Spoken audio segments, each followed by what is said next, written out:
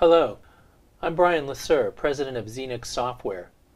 In this short video, I'm going to explain a unique feature of AscentialTest that we refer to as automatic data type conversion. A lot of AscentialTest users may be unaware that there's a built-in data type conversion provided in the app metadata editor.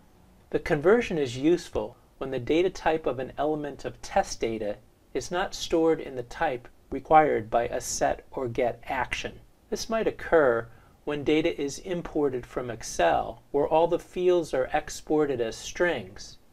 For example, there may be data items with strings true or false that need to be converted to booleans in order to use them to check or uncheck a checkbox field. Often when dealing with integers or real numbers, there's a need to convert them to strings in order to use the set or get actions which interact with the target application. By specifying the value type in the app metadata editor, AscentialTest handles these conversions automatically.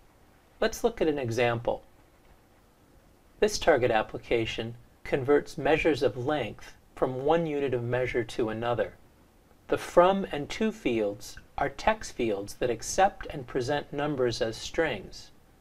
But since tests involving numbers might require mathematical operations, it's more convenient to store the values as real numbers. Without the automatic type conversion, I'm required to pass a value of type string to the set action of the from field. But since I want the variable to be a real number, I'm going to change its type to real. But watch what happens if I attempt to run my step. I get an error because the types don't match.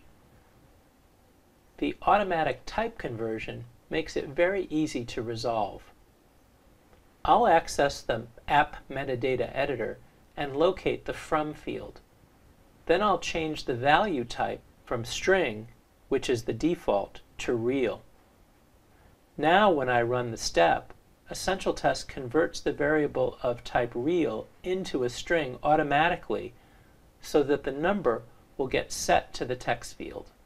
The same conversion is available for get actions.